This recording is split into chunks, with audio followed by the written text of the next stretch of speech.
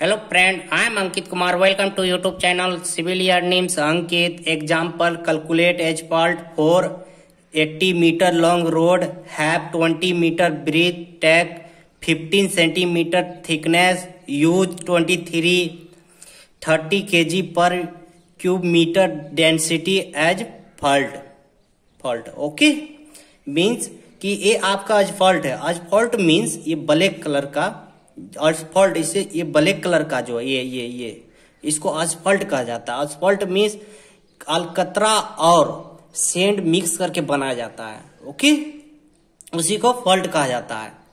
ये आपका highway road है। हाईवे रोड पे जो ब्लैक कलर का रहता है ना, उसका बेस बेस पे नज़र आता होगा तो उसी को कहा जाता है असफॉल्ट ओके उसी का क्वांटिटी आज निकालेंगे। देख, देखिए किस तरह क्वांटिटी उसका निकालता है ओके देखिए, इसका पहले डायमेंशन आप जान लीजिए, इसका डायमेंशन ओके देखिए, इसका क्या कर रहा है?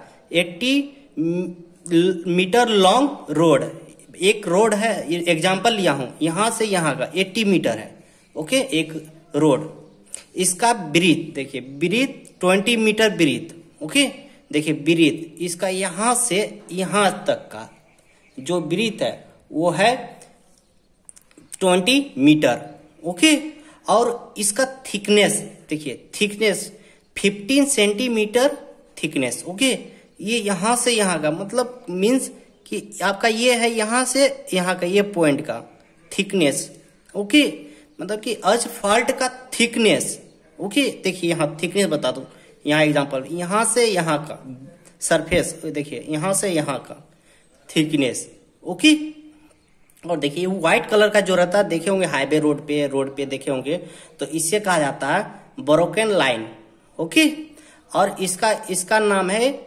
इसका नाम है, देखिए, इसका ब्लैक कलर का, इसका सरफेस ओके और ये कलर का बेस कोर्स लाइन ओके और आपका ये है सब बेस कोर्स ओके डायमेंशन पता चल गया, अब इसका क्वांटिटी निकालना सिखाऊँगा। और क्या, ये ये टॉपिक जो हर सिविल इंजीनियर को मालूम होना चाहिए। और सर्वेयर के लिए तो और ज़्यादा। ओके देखिए, आज quantity length multiply breadth multiply thickness okay देखिए length B breadth sorry length L breadth B और टी थिकनेस ओके वैल्यूम निकालते हैं। आपका क्या है? लेंथ क्या है? लेंथ लेंथ देखिए 80 metre.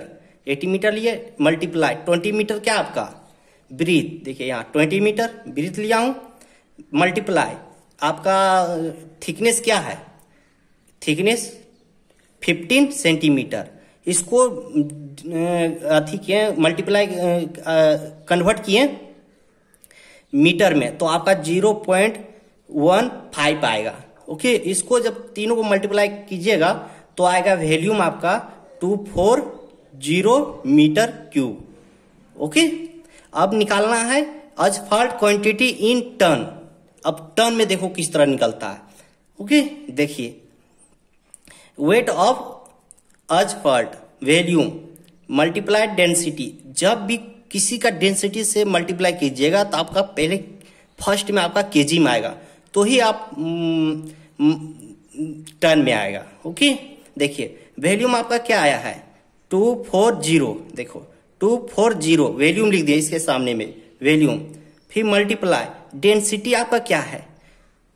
To three three zero देखिए यहाँ है तो density two three three zero okay जब इन दोनों को मल्टीप्लाई कीजिएगा तो आपके पास आएगा four four nine two zero zero K G के जी आ गया। आपका निकल गया। अब अब निकालना आपको क्या? आपको ये मास निकल गया। ये आपका मास है। ओके के जी ये आपका मास है। ये याद रखिएगा। ठीक है? आप अब याद रखिए कि एक टन में कितने के जी होता है? देखिए, एक टन में आपका हुआ वन थाउज़ेंड के जी ये आपको याद करना है, रखना है, ओके? और एक फार्मूला होता है डेंसिटी बराबर क्या था? Mass divide volume okay? आपका मास क्या है? ये है। ओके? के जी और आपका वैल्यूम क्या है? वन टन का वैल्यूम क्या? क्या है? आपका है वन थाउज़ेंड देखिए टन इन टन आपको मास दिए। ओके लिख दिया हूँ। Five five nine two zero zero K G okay और आपको एक टन में कितना के जी होता है? तो एक हज़ार होता है। इसको बस डिवाइड कीजिएगा तो आएगा five five nine point two ton okay, अगर वीडियो आपको अच्छा लगा हो तो प्लीज़ शेयर कीजिए और सब्सक्राइब कीजिए चैनल को। और चैनल को सब्सक्राइब करने से फ़ायदा होगा कि जब भी मैं वीडियो अपलोड करूँगा तो फ़र्स्ट में आपके पास पहुँच जाएगा। Okay bye